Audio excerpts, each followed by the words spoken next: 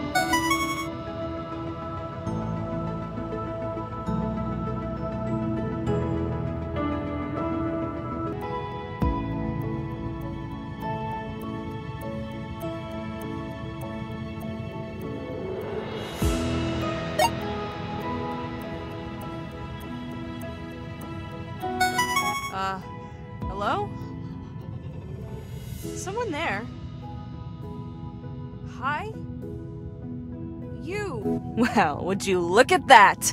An intruder. You're a little more disheveled than your traditional knight in shining armor. I was hoping to be saved by someone without mustard stains on their dungarees, for one. But as you might be my only ticket off this vessel, I'll make do. I've been trapped in this cockpit for a few weeks now, and this is the first time anything on this damn console has perked up. Whatever you did to those anchors on your way in, it seemed to help. Mind taking a look at that one over by the wall? Please and thank you.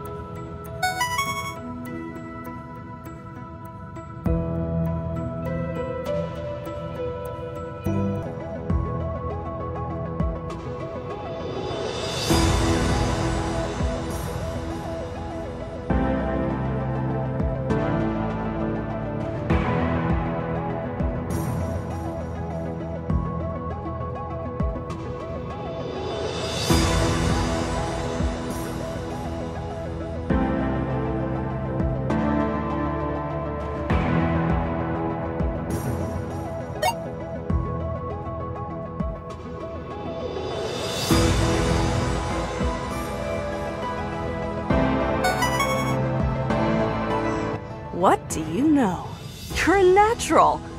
Looks to me like you shut it down entirely, which makes a lot of sense now that I think about it. I never imagined how much the anchors would mess with the ship's systems when the others installed them. I guess they really fried some circuits down there, huh? On the bright side, I do now appear to have full access to the annex you're standing in. Now, I know it's a big ask, considering we just met and that I've already insulted you, but if you keep shutting down the anchors like that, Might have a real chance at getting out of here alive. What do you say? Oh, let me grab those doors for you.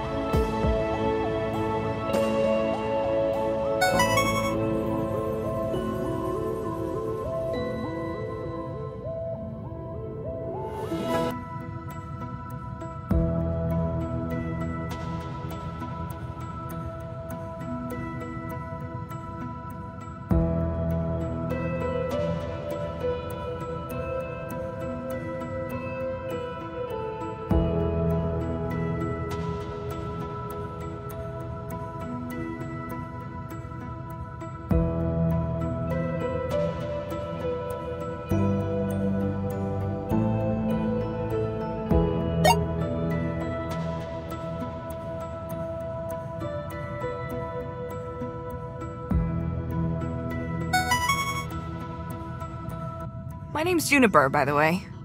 I get the feeling you aren't gonna tell me yours, so I may just have to give you one. Filament Court protocol is to allocate every loyal operative a color based codename. Unfortunately, no one told you that you should just pick one color and stick with it. Honestly, what I'm seeing is a little bit of a mess, so I might need to take a different approach to naming you. Red and blue are heroic, and you are my hero. But those are taken, and with all due respect, you've got nothing on Vermilion and yours truly. When I was a kid, I used to love this book. I would read it over and over again. The main character was Pluto, a socially inept bear with a can do attitude. He tried his best. So that's what I'm gonna call you Pluto. Yeah, I like it.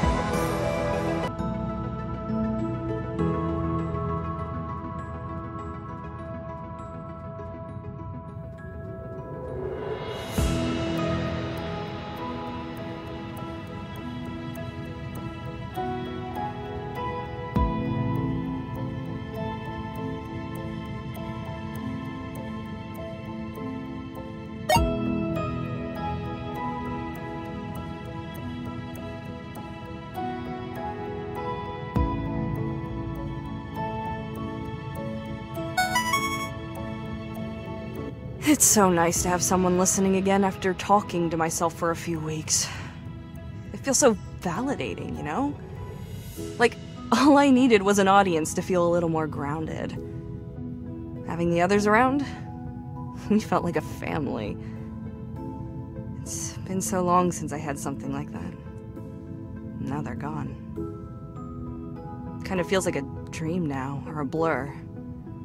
Maybe none of it was real. You're real, though, right? It's fine if you're not. I just think we should be honest with each other.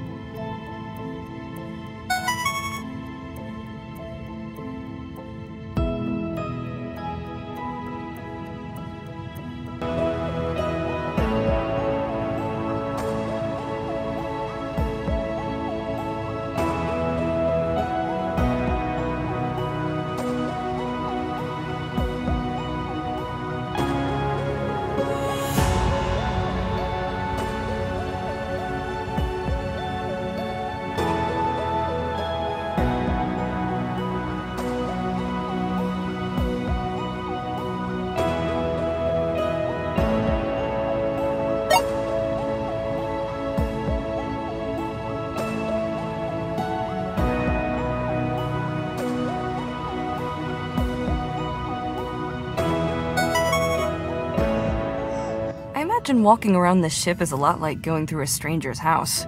So allow me to put you at ease by introducing our little breakfast club to you.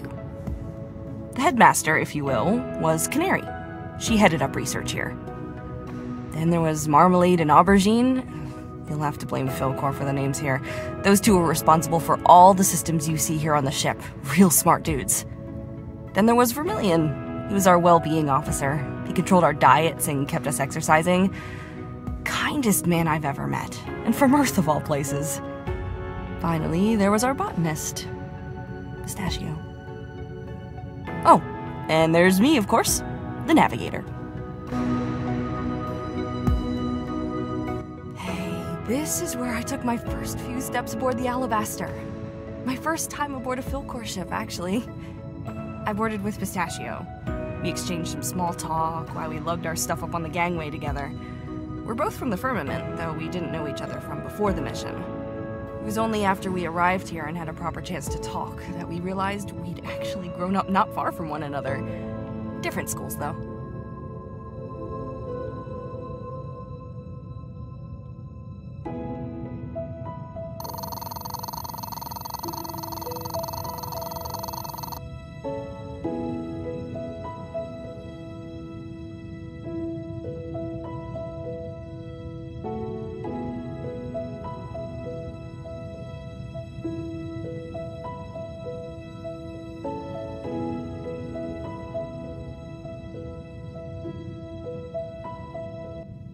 Noticed a few of these spacesuits are missing a limb or two. Philcor were nice enough to provide us with personalized suits that are cut off around our augmentations. It's so we can make better use of them outside of the ship. Pretty cool, huh? Aubergine wasn't pleased about how much his resembled a one piece swimsuit. It's a look, for sure, but I think he rocked it.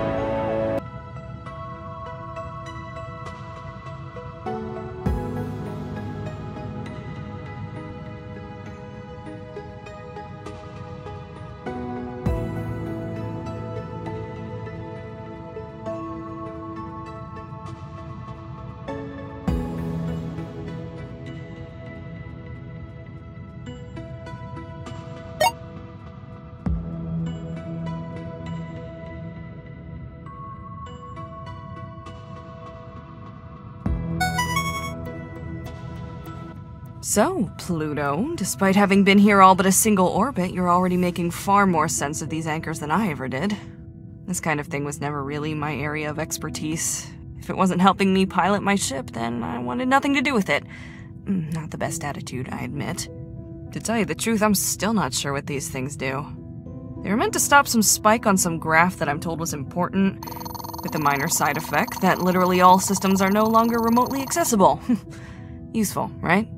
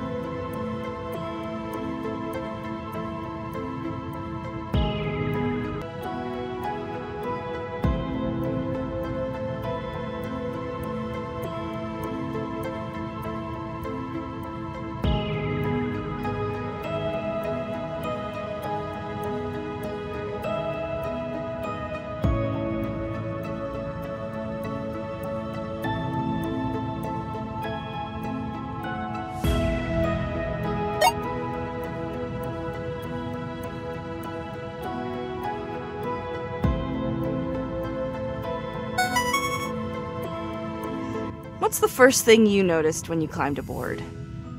I'll tell you what it is for me the smell. I always imagined the smell on a ship like this to be, like, clinical, you know? But no. Like freshly cut grass. Something to do with the oxygen recycling, I'm told. Goes a long way to help you forget you're trapped in a metal box. If only for a second. The endless void out the windows brings you right back, though.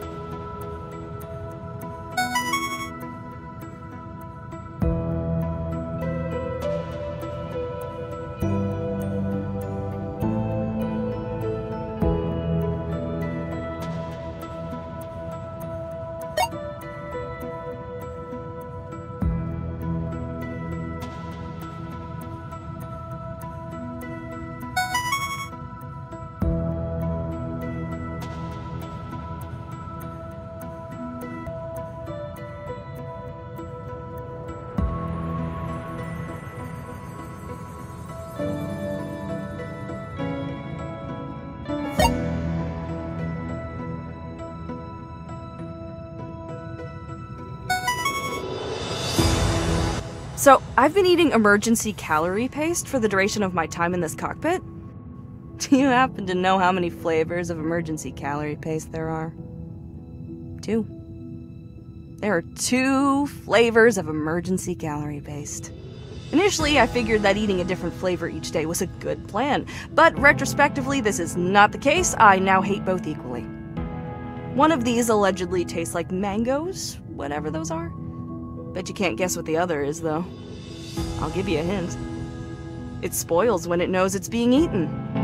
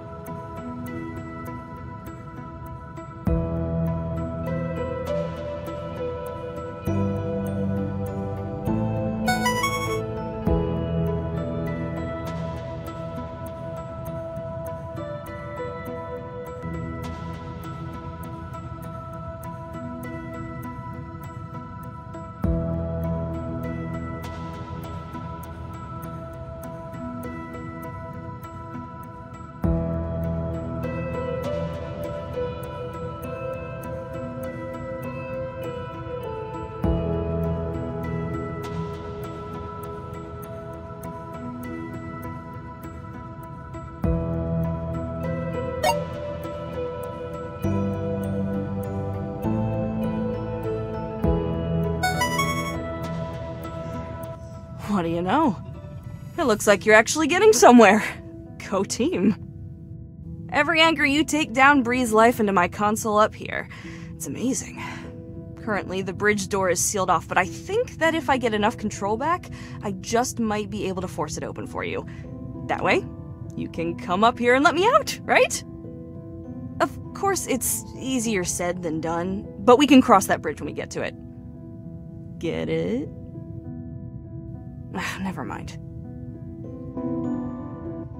The second Lantern 2 Pro we began working on after the failure of the first. I suggested we call it the Lantern 3, but Canary, you know. We never did finish it though. It was around the time that everything went south. It's too bad it never launched. It had some pretty nifty features. I still don't understand what happened to the first one, but I feel somewhat responsible seeing as I was the pilot, and the failure was its lack of landing. Still, it behaved so weirdly. I don't feel like there was anything I could have done to land that thing.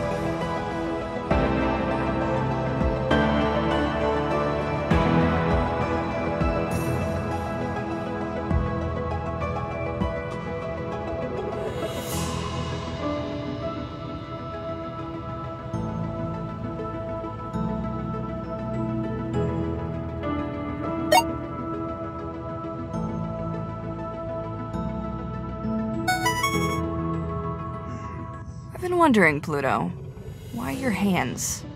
Marmalade had similar augmentations to help with his engineering work, although yours don't look as heavy duty as his. I thought that perhaps you were a scrapper? Hmm, no. You certainly dress like one, but there's nothing to salvage this far out from the colonies. Well, I had an arm swapped out, in case you were wondering. My eyes, too. I'll admit that the arm was just to get back at my mom for something. Something stupid, I'm sure. I just wanted to drive her crazy. I don't even remember why. My eyes, though, that's a different story. I would never be where I am today without them. that said, maybe I should start regretting those too.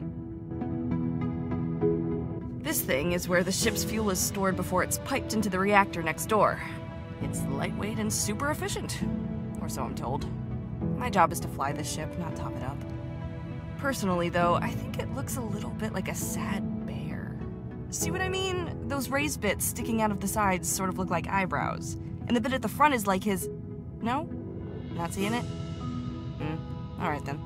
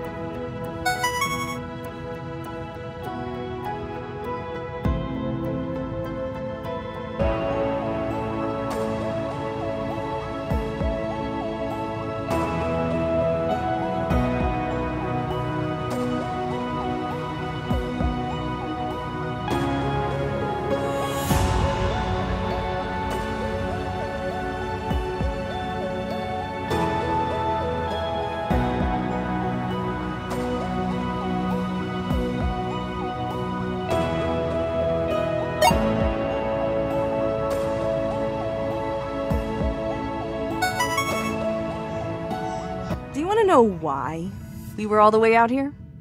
At the very edge of recorded space?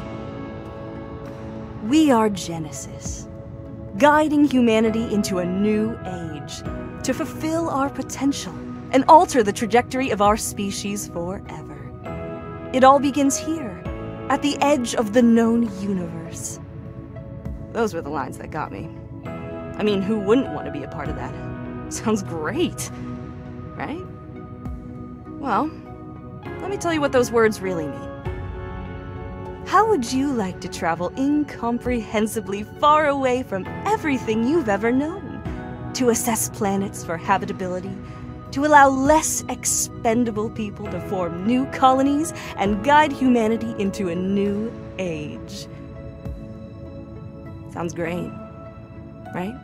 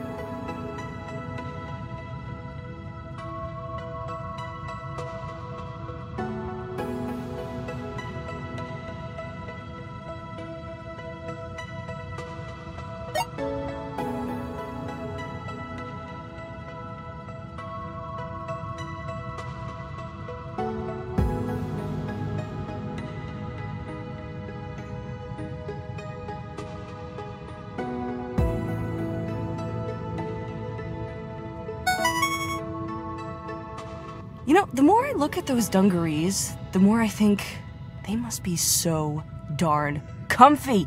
I mean, why else would you choose to wear them, right? I get that. Unfortunately, dungarees aren't included in the Filament Corporation's stringent dress policy. Oh, it's been years since I last donned a pair. I find these filament uniforms really lacking in storage capacity.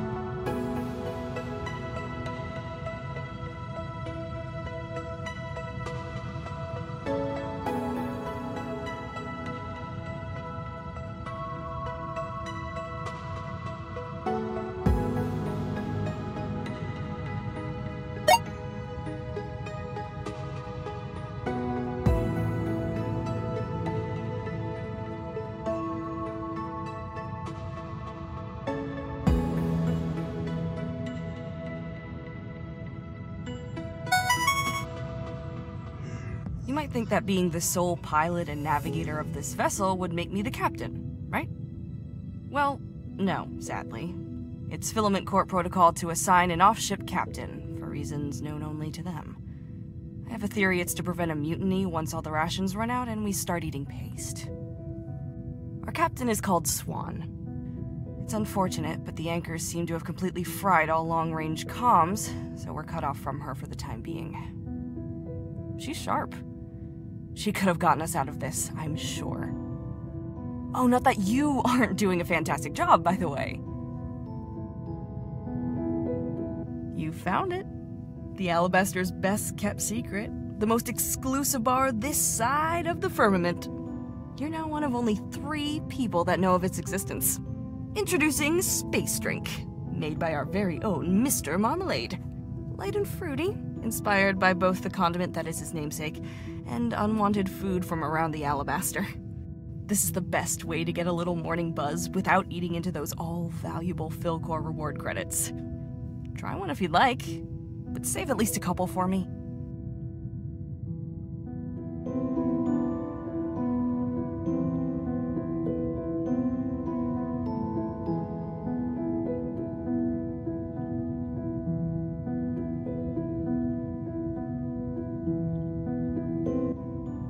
So you've discovered our source of gravity. Nifty, huh? It's fairly common to see big ships like ours create artificial gravity by spinning, but not us. No, we have fancy gravity. It just sits there doing its thing, and then everything goes nicely downwards, as it should. Of course, the one main drawback to a system like this is that while it's pretty hard to stop a ship from spinning, it's remarkably easy to hit a button labeled off. I was on a delivery job before joining Philcor, where someone, not me, turned off the gravity one morning as a sort of shipwide prank. It was chaos. Stuff everywhere. The hold was a mess. It caused a lot more damage than I, uh, they, intended. So don't touch anything.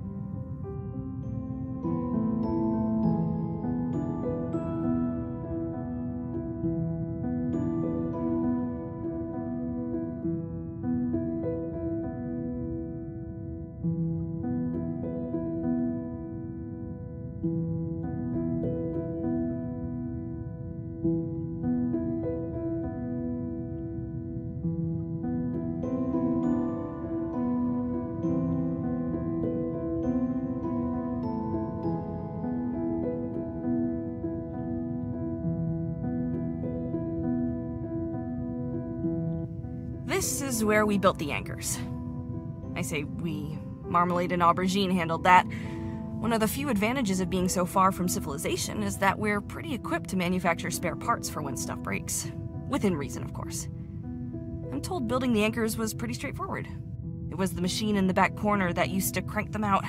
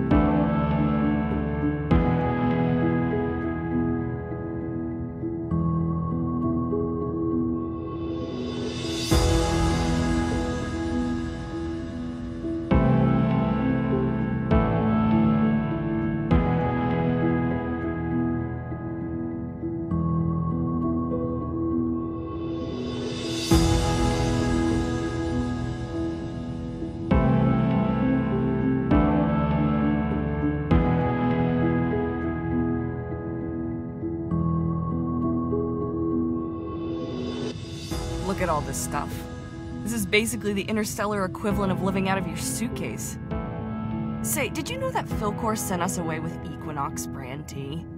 I didn't even know that people actively chose to buy that stuff, let alone buy the crate. Look, I don't want to sound like a snob and say that brand names are always better, but when it comes to tea, they obviously are, right?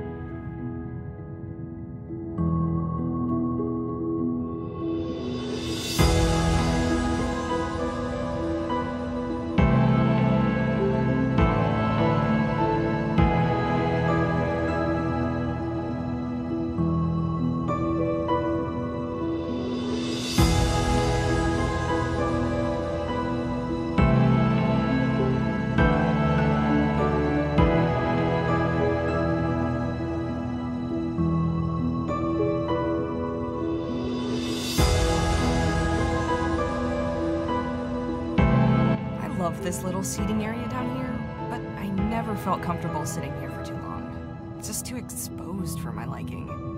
Anyone can look down at you without you knowing. The acoustics here, too, they, they really carry your voice. I couldn't have Canary catching wind of my misadventures. By the way, what do you think of this window? I was always pretty indifferent to it, but Pistachio, ooh, she hated it. Wouldn't like to sit down here at all. Times we did, she would carefully edge around the window to where she wanted to sit. Strangely, a bunch of pistachio stuff would end up down here, right in the middle of the window. But I wouldn't know anything about that.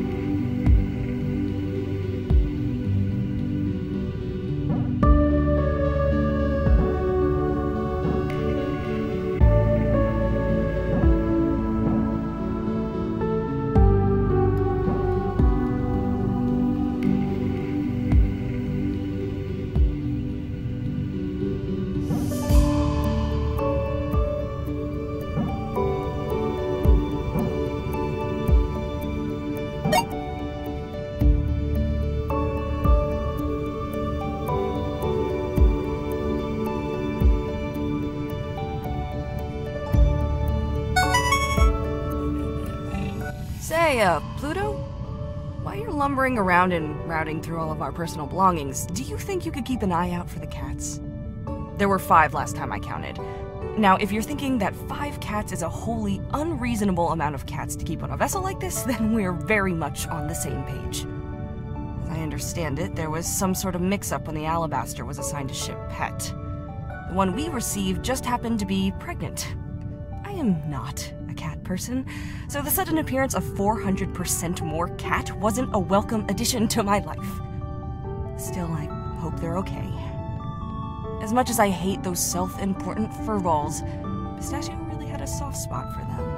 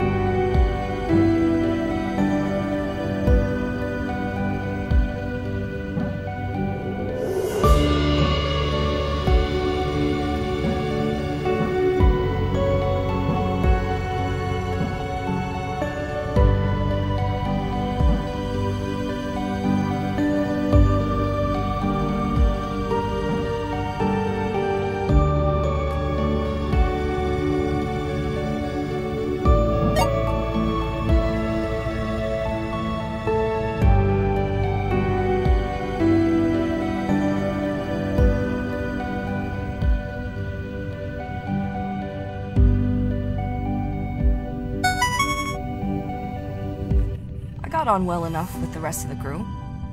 They were good people, you know? Sure, Canary could be a bit abrasive. Although Vermilion proved to be a worthy intermediate between the two of us. And it did take a lot of work to get Aubergine out of his room sometimes, but they were good people. Mostly. Pistachio, though? We spent a lot of time together over the last few months. I know she wouldn't have left me here.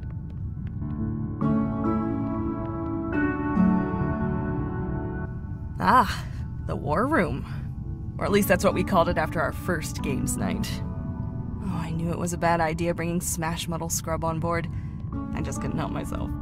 When we arrived and I got to know the others, I just knew it would be something to behold. The first games night resulted in a shipwide silence for two days, email communication only. We agreed to ban the game after that. Despite this, every time games night would come around, we'd start playing something different, like Indigestion or Please No Not the Melon, and then always end up going back to Smash Metal Scrub.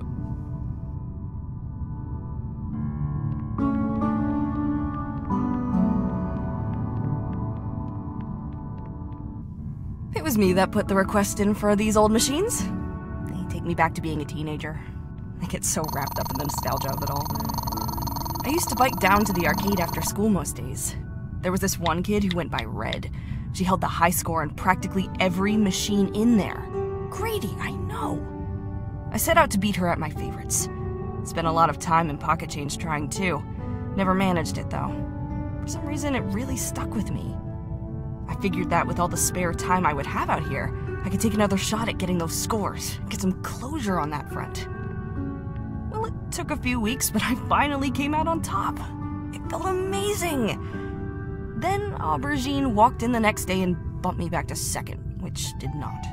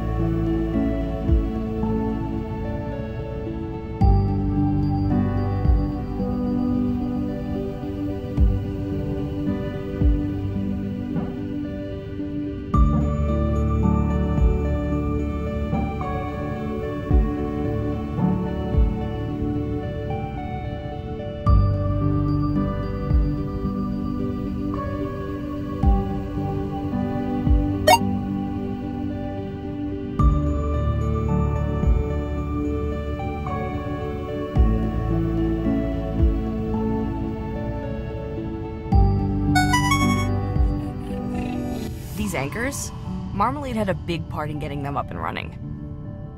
You and I are still getting to know each other, but from what I can tell, you two have a lot in common. You're about as talkative as he was anyway. You know, we actually threw him a surprise party a few weeks after we arrived. There were decorations and everything. That might not sound like much, but out here, decorations can be a little hard to come by. We had to make them ourselves. Uh, I say we. Pistachio took the lead on that. You never believe it from her personality, but damn, Canary can bake! She made this unbelievable chocolate cake. We all had a pretty great time that night. We needed it. Marmalade, especially. He wasn't in the best place after what happened with the spacewalk.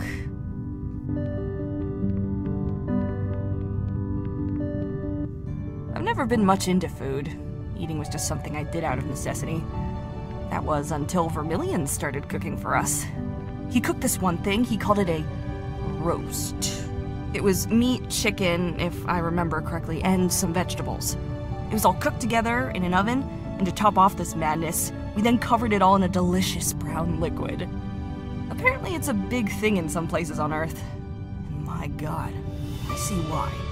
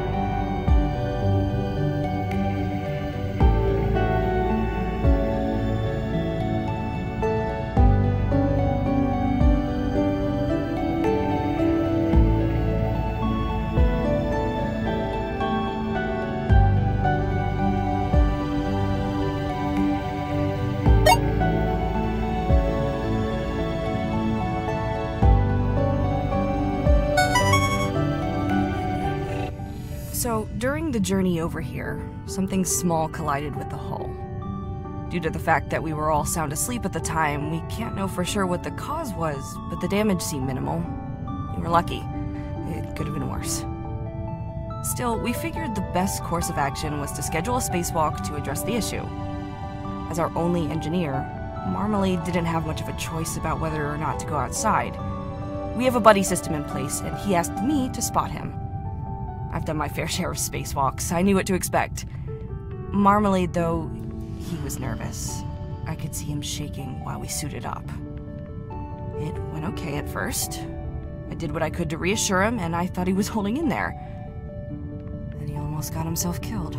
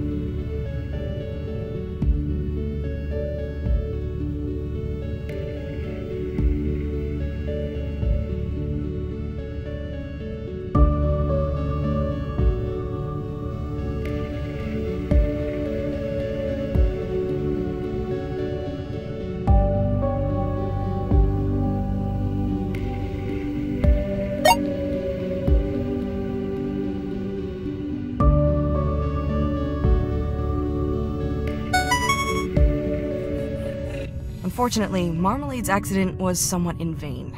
Not long after we arrived, I noticed the ship started to slip into a decaying orbit. It seemed likely that it was the result of the damage caused by the collision, so I was hopeful that our repairs would fix the problem. Not so. A few weeks later, it happened again. Then again. And again. Not a clue as to why. When I told Vermilion about it, he said it sounded like a, uh, a, car with its wheel alignment off. Whatever that means. Have you ever started to get anxious that you're overlooking an embarrassingly simple solution to a problem? I was there.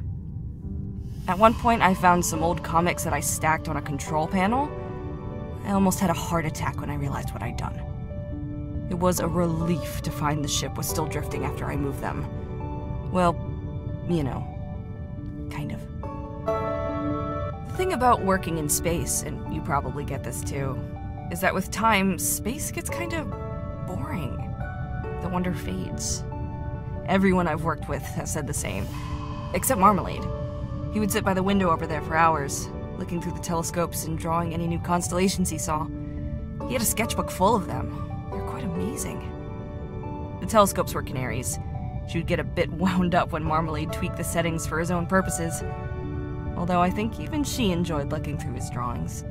Maybe she was even a little proud that they were a product of her telescopes.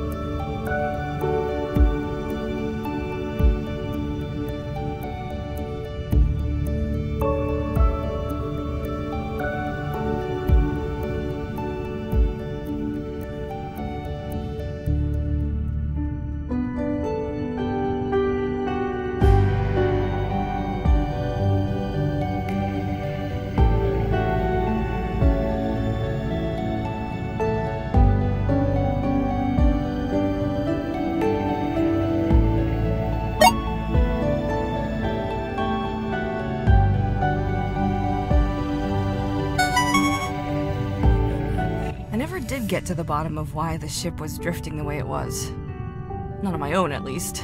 Eventually, Canary either got sick of hearing about it or began to get concerned that I was dropping the ball.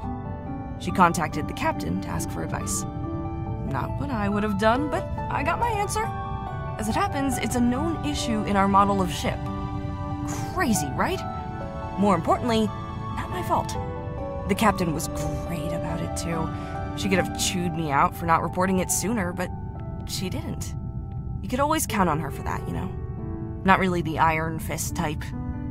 A bit of kindness goes a long way. In the wake of Marmalade's accident, it was the captain that sanctioned the extra rations that allowed Canary to bake his birthday cake. She's a good egg.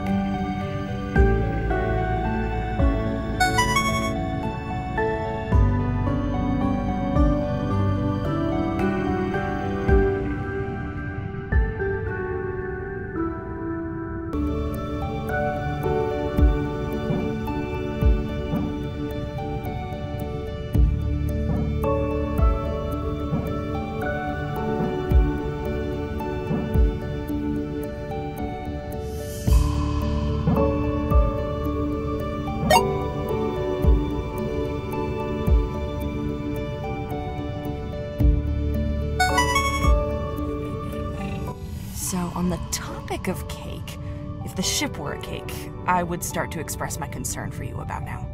That is to say, you're about halfway done. Unlike a cake, though, your ultimate prize will be to clean up whatever mess marmalade and aubergine left in the bridge up here, rather than shame mixed with crippling health problems. I'd take my chances with the cake given the choice. Between the dungarees and fast food stickers, something tells me you would too.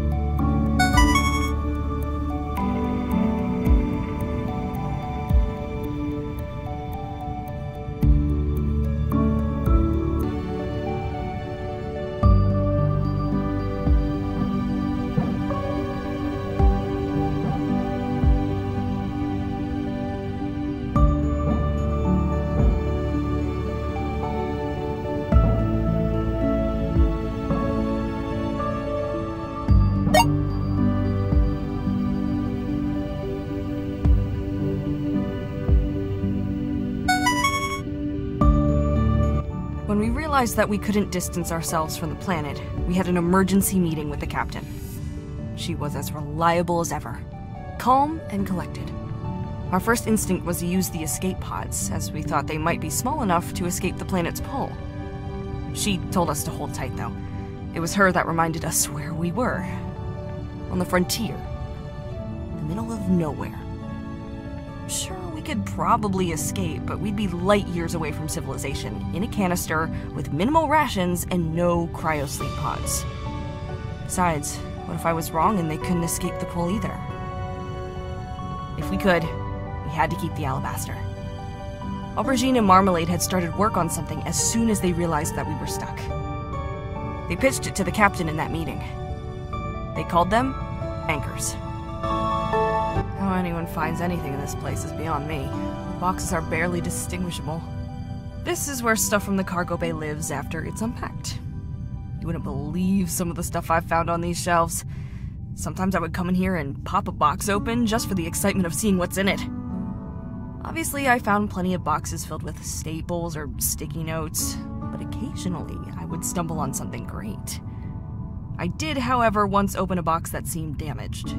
It was some plant of pistachios, and get this, it had teeth. It was trying to get out. She assured me it wouldn't have gotten anywhere, but I'm still glad I stumbled across it when I did.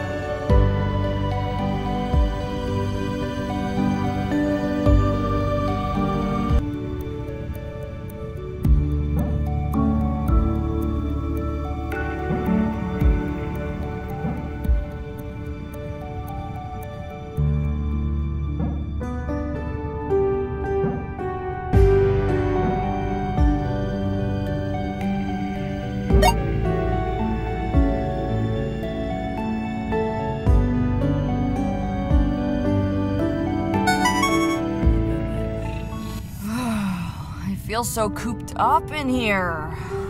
I was never one for Vermilion's mandatory workout regime, but I could really go for a run right now. stretch the legs, you know? I have the most relentless ache. Oh, nothing like what cryosleep did to me, though. As navigator, it was my job to check we didn't stray too far off course while we slept. I had to wake up every few months to keep us on track.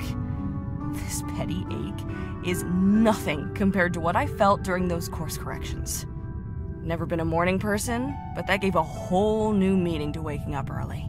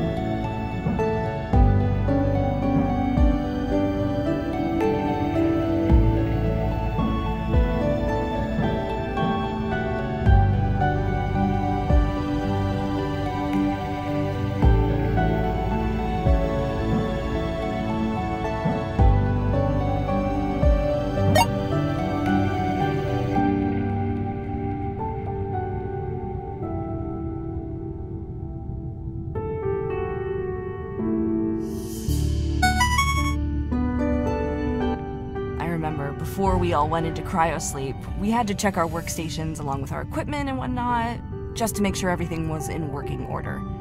It's not like if something was damaged, we could just order another. Pistachio wasn't interested in doing any of it. She had this special plant. Ah, I should really remember what it was called, as it quickly became the subject of daily conversation. Well, it only flowers something like every 10 years. And this particular plant, it was due to flower on our arrival. She was so excited. She spent all our prep time finding it the perfect spot and making sure it had everything it needed, so that when we arrived, it would be healthy and in full bloom. It never did flower, though. We checked the ship's footage from the flight. We hadn't missed it. It's a shame she never got to see it flower.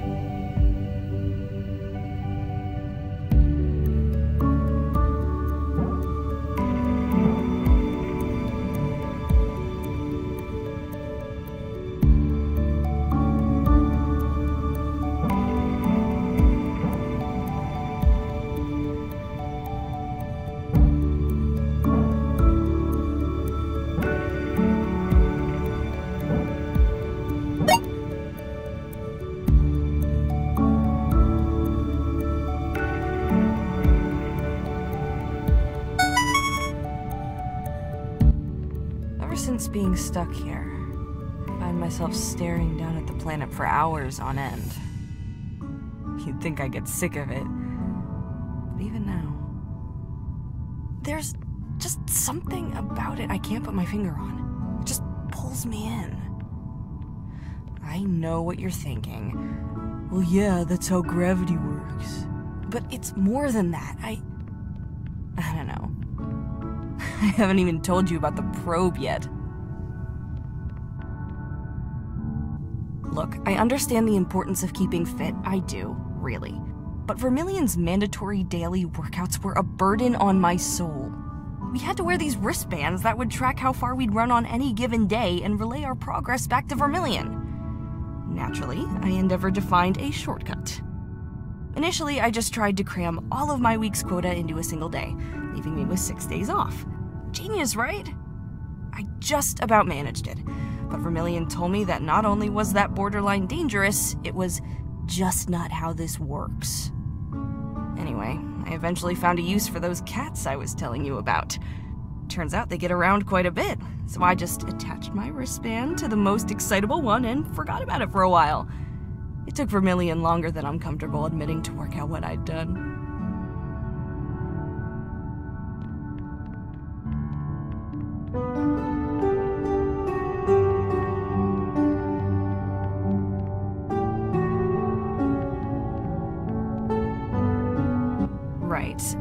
You to bear with me for a second because I've got a vent here. When we were all selected for this mission, we could submit requests for things we wanted to have on board. These requests would be evaluated on costs and necessity and whatnot. Now, the Filament Corporation were pretty accommodating on the matter, but there was one thing I requested that got denied. I wanted a dance floor. You know, one of the ones with all the colored tiles and flashing lights? Now, I know a little unreasonable, it was a long shot, but think about the morale benefits. Unsurprisingly, my request was denied. Whatever, I was fine with it. But then I get on board and find that they've given Canary an entire pool. Now I know what you're thinking. Isn't a pool just a hole in the ground? Well, you're right. It is just a hole in the ground. A hole containing 400 gallons of water. Do you know how heavy that is? Heavier than a dance floor, and you can't spill a dance floor. You know, I've been aboard a few ships with pretty dire issues in the shower department. The Alabaster is not one of them. We've got it all good water pressure, dials that actually perform as advertised, and a seemingly endless supply of hot water.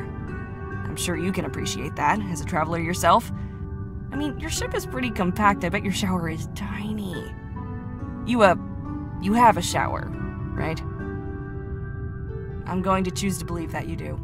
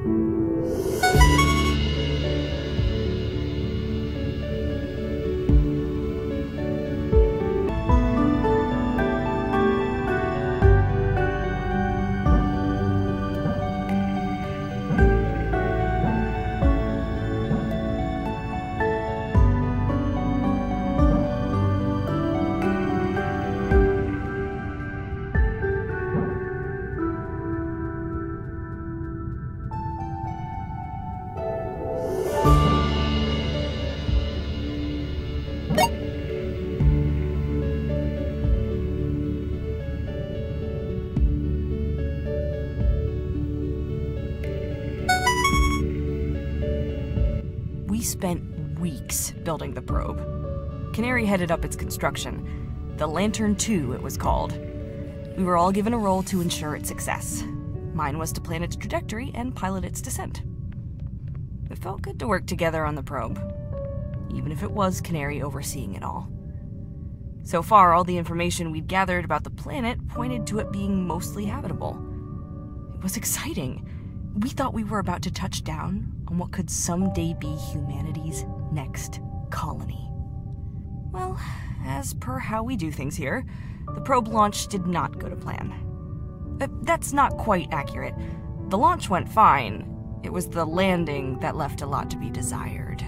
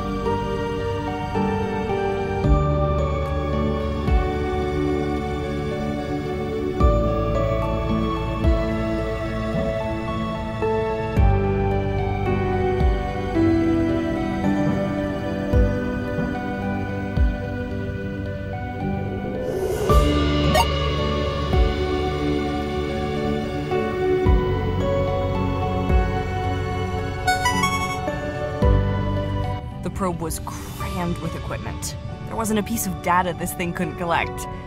But we wanted more than that. We wanted samples. The plan was that once the probe landed on the planet's surface, it would embark from one end of this ravine to the other. Pistachio chose the location. Along its way, it would collect a variety of samples. Once it reached its destination, it would launch a capsule of the samples into orbit for us to collect. Simple, right? So, to the launch. All was good until the probe reached the planet's atmosphere, when instead of slowing down, it started speeding up. It just kept accelerating towards the surface. We couldn't do anything about it. We were sure it was going to crash. And then it just seemed to fall straight through the ground. What's more, it kept going. We lost signal maybe a minute later. Canary says the heat from entry must have fried its telemetry or something. My guess is that it was doing its best to get away from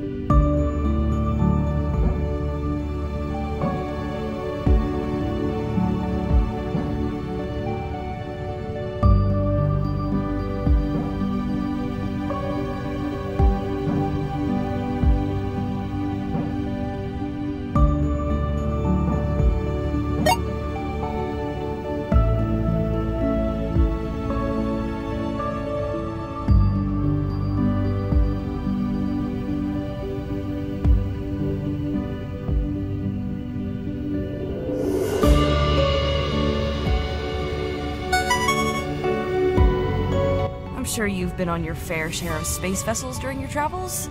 Now, you may have noticed that the Alabaster has more origami swans than your average deep space vessel. Well, let me demystify you on the matter. Origami was one of Pistachio's fondest pastimes. And credit to her, she wasn't half bad. Her augmented hands probably helped her out. She started out making all sorts, but quickly found the swan to be her favorite. You'd find them weirdest places. She knew we all laughed about it. We'd be given multiple swans a week, all different sizes and colors. But honestly, that's just Pistachio. Everything she did was in the interest of making us feel good.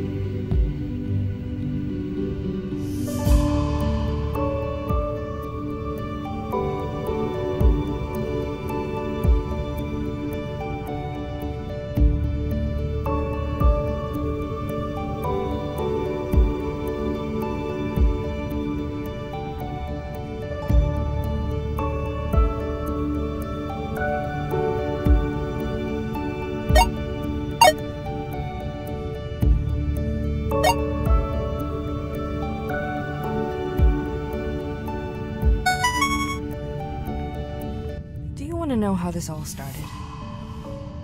I was just thinking about Pistachio some more. All of this, it started with her. After the failed probe launch, things started to go wrong. Equipment began intermittently acting funky, the ship was drifting more often, and Canary's readings of the planet were all over the place. Then Pistachio just disappeared. And I don't mean she ran off or anything. She literally just vanished. She wasn't on the ship anymore. All her stuff was still here, all the escape pods still in the bay. We searched. All we found were the clothes she was wearing on the floor in her lab. And her hands. The amount of coffee consumed here is unfathomable. It was here that Canary would lead our morning briefings following the mandatory workout session. You know, it's interesting, all this technology, and we've never really improved on an honest cup of coffee. Sure, we have plenty of ways to make you feel less tired, all of which are far more effective than coffee. Yet, here we are, still drinking the stuff. I think it's in the ritual of it all. There's comfort in it. Let me tell you, whenever I had a coffee in my hand, there wasn't a thing Canary could say to irritate me. She knew it too. Clever, really.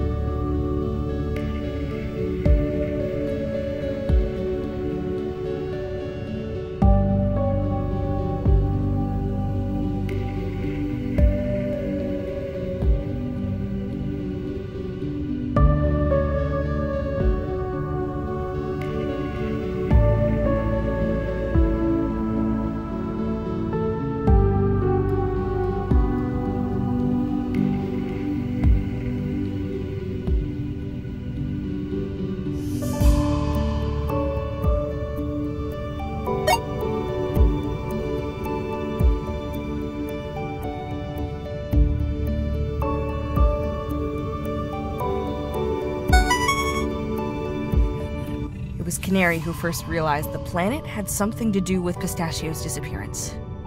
After the probe, Canary increased the number of readings she was taking on the planet. She had seen an increase of anomalous readings across the board right up to the day Pistachio disappeared. Then they just stopped. For a time. Then the anomalies started to crop up again, but faster than before. We had to leave. If the timing of the anomalies before was anything more than coincidental, then we were in danger. I've never prepped a ship for long distance travel so quickly before. Not that it mattered. We were all set to leave, but when we tried, we realized we couldn't escape the planet's gravity. It was like it had somehow gained mass. And every time we put more power to the engines, the planet would pull back. Only harder. Oh, Vermilion I miss that old man. He just had this, like, warmth, you know? I could tell him about anything, and he would just summon wisdom like it was nothing. He was from Earth as well, which, I don't know, it's just nice. I've never been there. He actually left Earth for the first time to come on this mission. That's what all the photos are of, his life on Earth. I know Pistachio was particularly interested in a photo album of his house. She used to sit and flick through it in her downtime. He used to live on the coast next to an ocean. Can you believe that?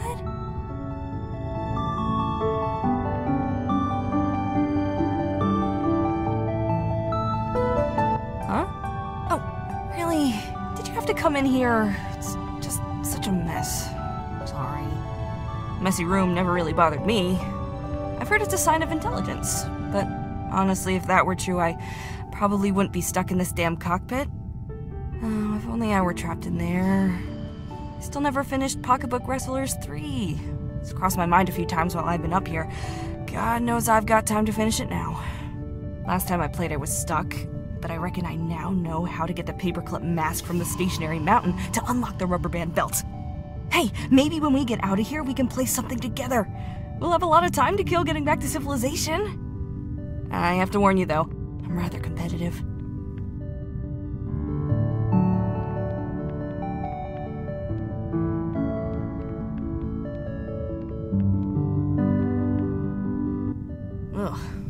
So empty. Almost clinical. Why is everything lined up like that? Just so you're aware, this is how everyone's bedroom looked before we moved our stuff in. Minus the fish, of course. Canary sure loved her fish. I think maybe she related to them on a personal level, you know? All cold blooded and scaly, blank, expressionless eyes, her mouth doing that thing where it opens and closes all the time, but nothing of any value ever comes out. Was alright.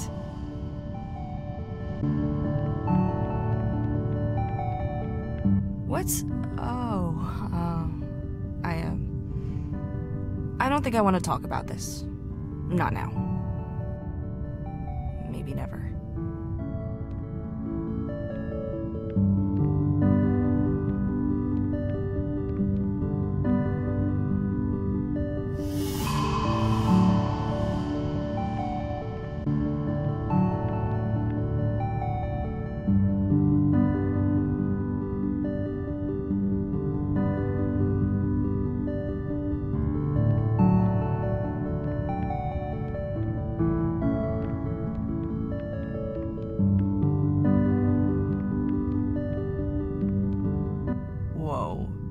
This is crazy. I've never been in here before. If Canary found out about the state of this place, she would flip a. Wait, what did he do to the bed? How did he sleep? This man is an enigma. I remember hearing about this creature on Earth, right? A farm animal? I heard they slept standing up. Maybe Aubergine was the same. He did have augmented legs.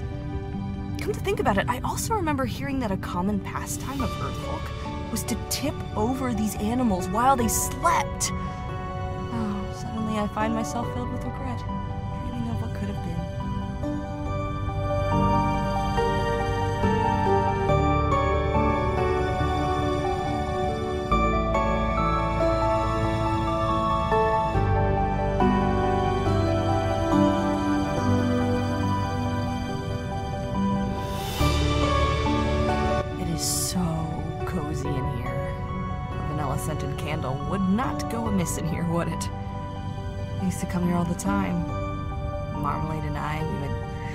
come sit in here for hours with the fire on and just chill, you know? I don't know if you've noticed this about me, but I'm kind of talkative. He was the opposite, the anti juniper, if you will.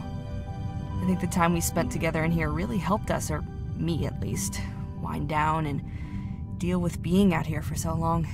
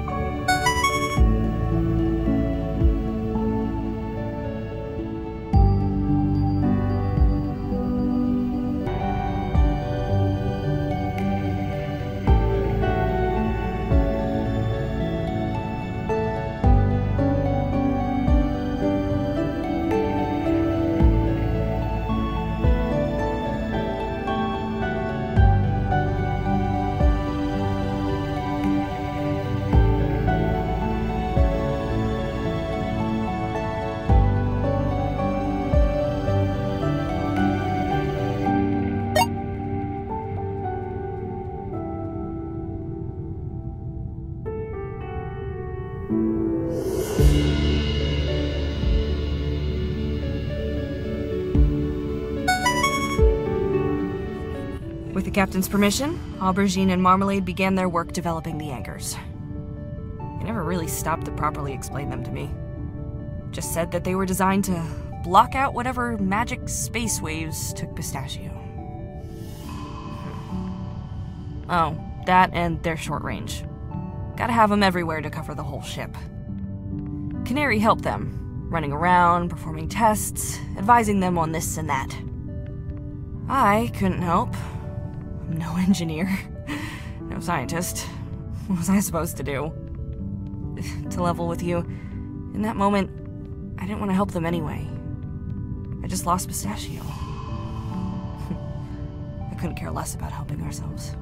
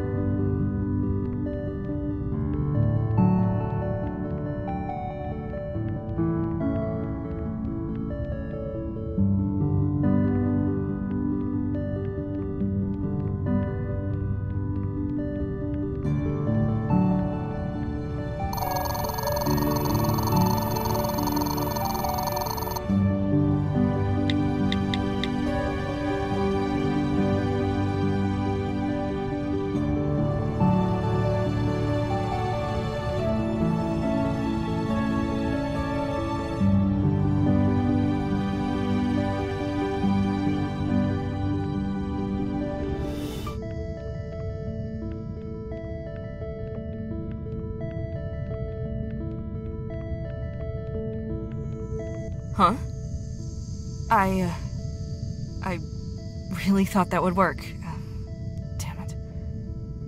Alright, okay. I think I know what's up. I'm going to need you to do one more thing. You're gonna have to go down to the escape pods and reset the breaker. You'll need this code to get in. Ready? Here goes. Two, nine, three, one.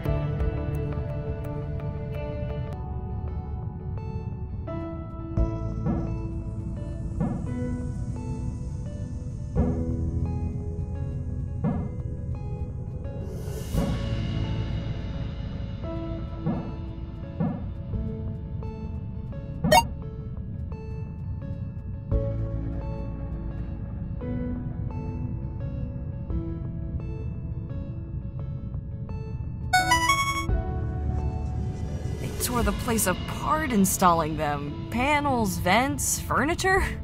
Nothing was safe from those two. Cables everywhere. I was always tripping over them and then taking my anger out on whoever was closest. Not fair of me, I know. I was in a bad place. Not proud of how I acted at that time. Soon enough, the anchors were all over the ship, with just one place left to cover the bridge. That actually meant I could be somewhat useful. I had to pull myself together, sit in the cockpit, and keep tabs on the ship's systems. Make sure the anchors were integrating properly. what could go wrong?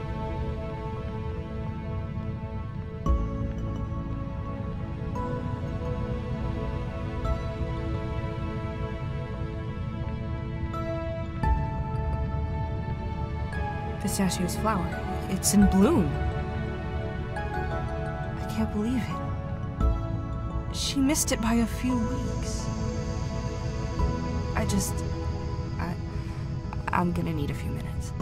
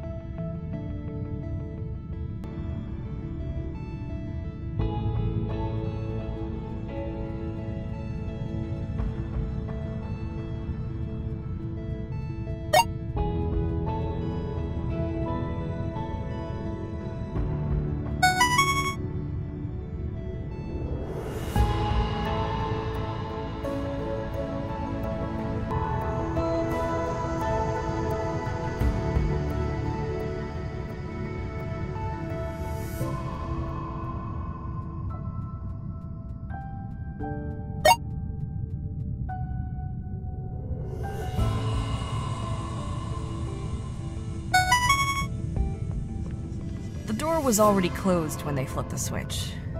I sealed my own fate with that one. My whole console flared up and then shorted out. It was bright enough that the terminal keys left an imprint on my vision. To make things worse, I spilled my coffee in the process. I tried running out to the bridge to tell the others, but the door wouldn't open. I kept just mashing the release button. Nothing happened. I never really felt claustrophobic before, but in that moment I did. I had to calm down, slow my breathing. It took Vermilion yelling through the door to finally get my head back together. Then, all I could do was wait.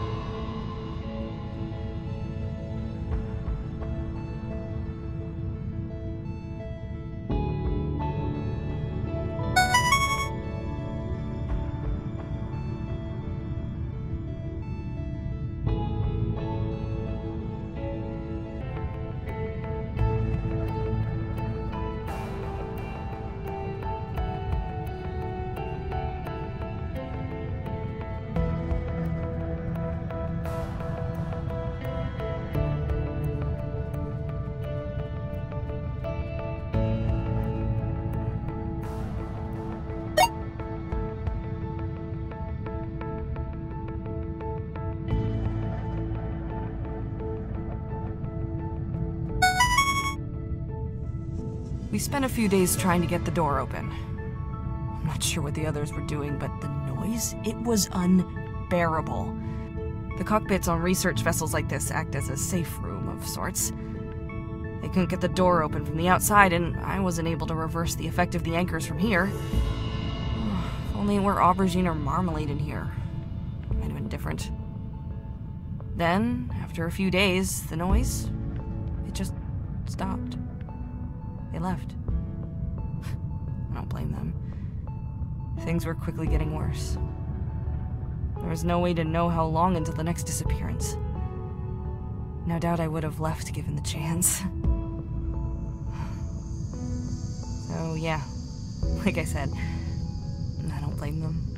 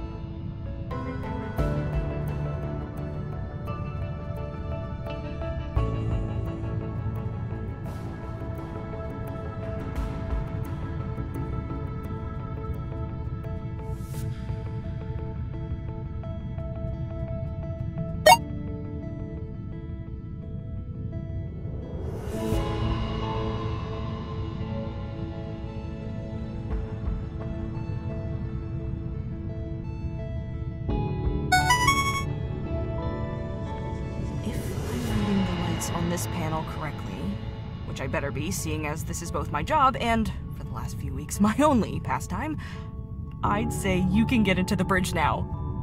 Woo! Eh, sorry, I couldn't help it. It's all so exciting! Let's go. If you get yourself to the bridge door, we should be able to get this thing open.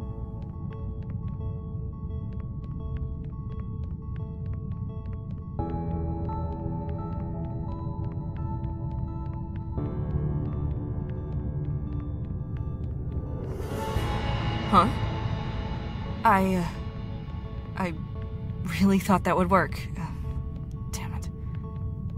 Alright, okay. I think I know what's up. I'm going to need you to do one more thing. You're gonna have to go down to the escape pods and reset the breaker. You'll need this code to get in. Ready? Here goes. Two, nine, three, one,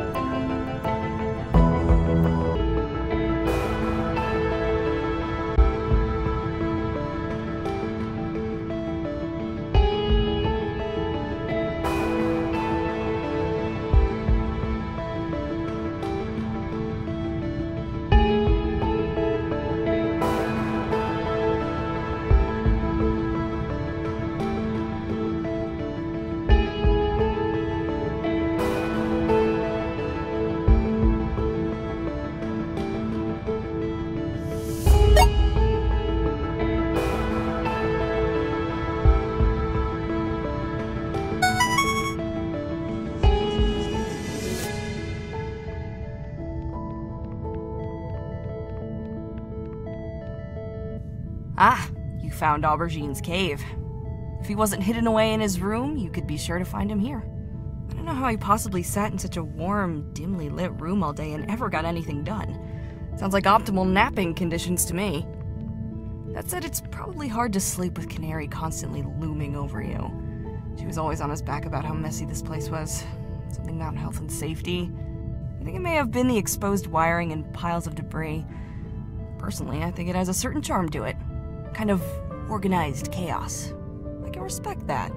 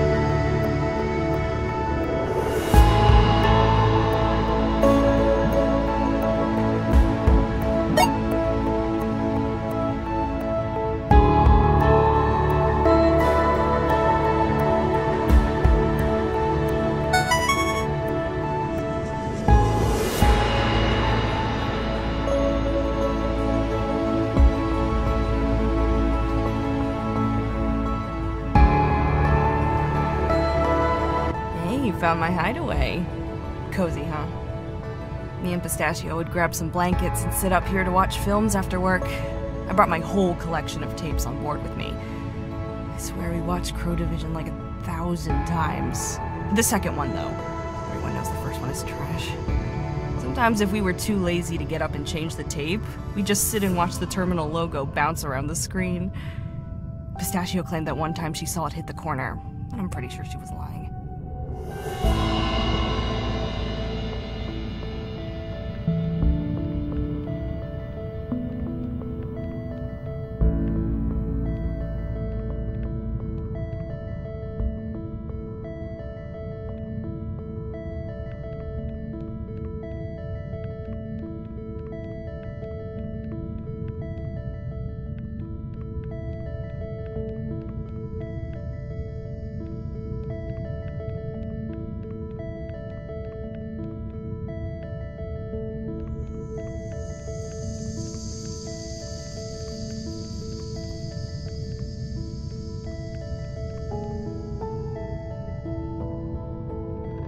you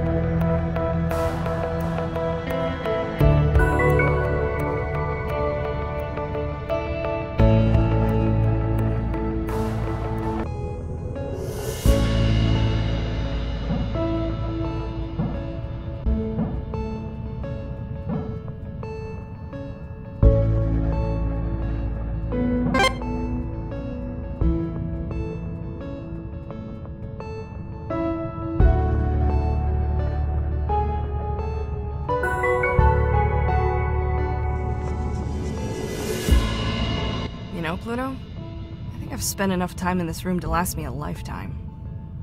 I was betrayed by my own appendix, of all things.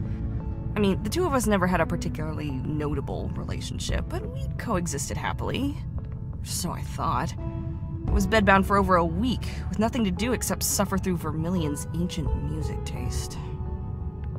I suppose I shouldn't be too hard on the old guy, though. He did save my life.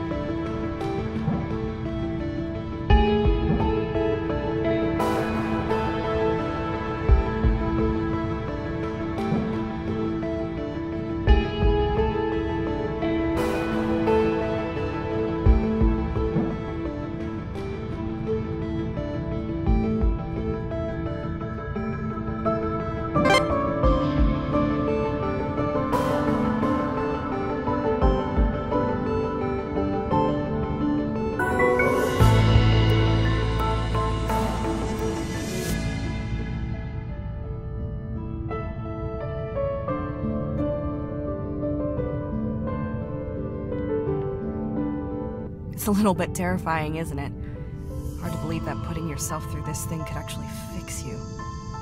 It was this large metal cylinder that had the honor of separating me from my appendix. I asked Vermillion if I could keep it after the surgery, like in a jar or something, but he just sighed and didn't answer me. Classic Vermillion. I think that in the end, this room was gutted for spare parts to help construct the anchors, so it won't be up and running again anytime soon. On a completely unrelated note, how are you feeling? Well? You're feeling well, right? Good.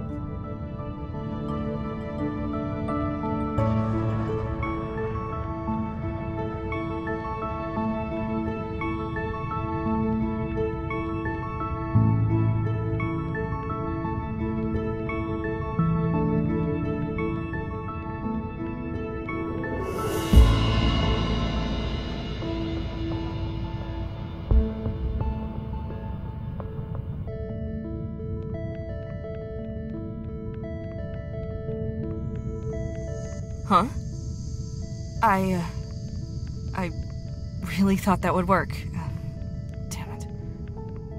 Alright, okay. I think I know what's up. I'm going to need you to do one more thing. You're gonna have to go down to the escape pods and reset the breaker. You'll need this code to get in. Ready? Here goes. Two, nine, three, one.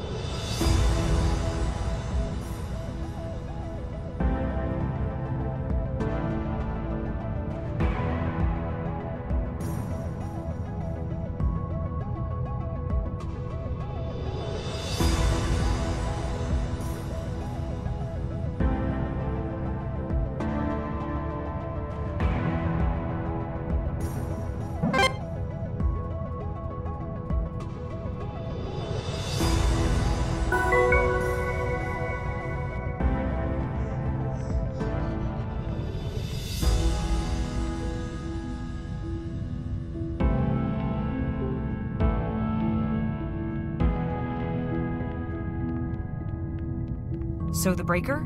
It's just over by the corner and. Um.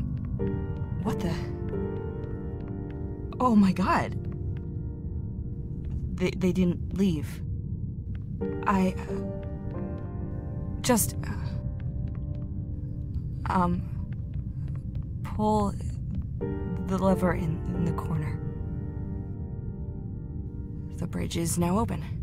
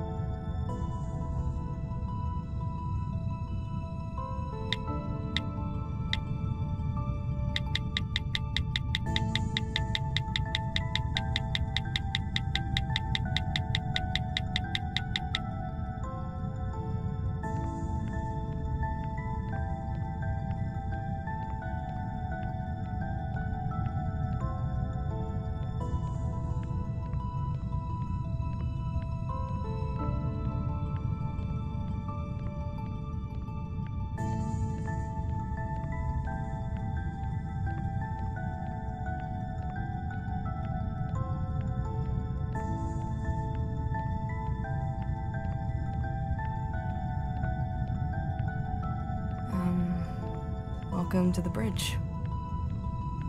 I'd like to say this is where the magic happens, but in this context, the magic would be an inability to drive away from a dangerous planet and save my friends.